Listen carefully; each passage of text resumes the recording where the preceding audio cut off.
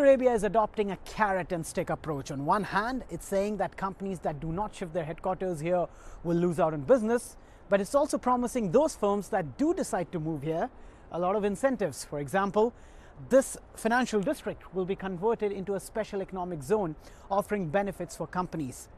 Saudi Arabia's aggressive stance has become a direct challenge for the UAE. For decades, Dubai has been the undisputed financial capital of the region. Experts say that Riyadh will have to overcome a lot of challenges to dethrone Dubai. You've got the lack of good quality office supply in a large quantum.